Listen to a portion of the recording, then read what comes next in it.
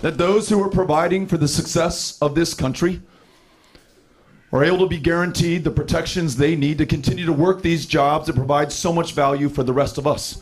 After years, decades of diminishing the power of unions, it is time to strengthen them. I want to make sure that when you graduate from high school, you are college ready to come here, but you're also career ready to find a job that provides purpose and function and dignity and a real paycheck in your life. Those apprenticeships that more Americans can join if we make it a priority. Those apprenticeships that more older Americans can return to after they've raised their families or after their job has been automated out of existence or after they want to try something else in a new community.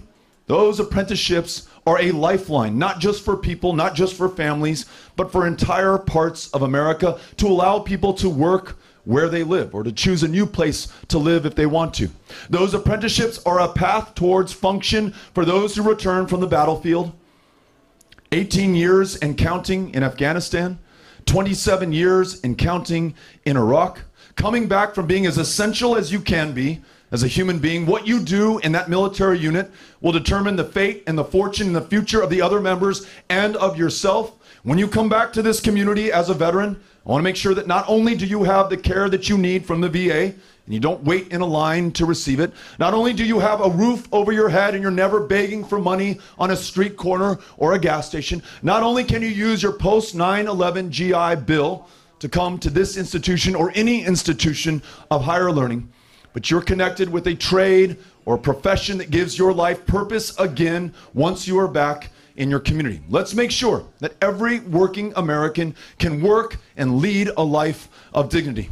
And every American in every rural community that produces the food and the fiber that we depend on, that the world depends on, which is helping us to meet our climate challenge goals by reducing our dependence on fossil fuels, that we allow them to make a profit on their farms. I don't think that is asking too much. The alternative is those farms are sold, they're aggregated into conglomerates of corporations, or they're subdivided into homes and blacktop.